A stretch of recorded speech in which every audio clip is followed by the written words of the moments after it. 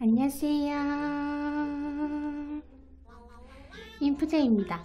오늘 제가 먹어볼 음식은 슈하고 에그타르트입니다. 맛있게 잘 먹겠습니다.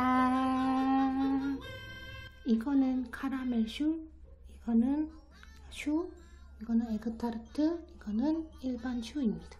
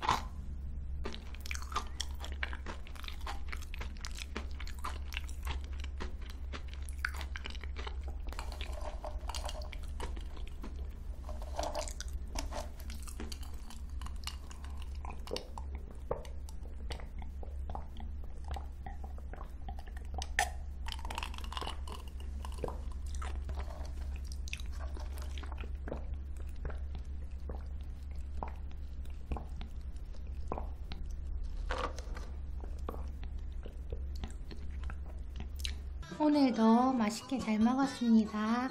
다음 영상에서 뵐게요. 안녕.